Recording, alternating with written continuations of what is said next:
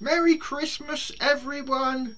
I'm having a great time here home alone and uh, about 2.30 I'm going to be going live on my YouTube channel. I thought I'd just put that out there so that everybody can, um, once they've had their Christmas dinner in the UK, and 2.30 is around about the right time because in America it would be a bit more morning time and in Australia it would be a bit more evening time.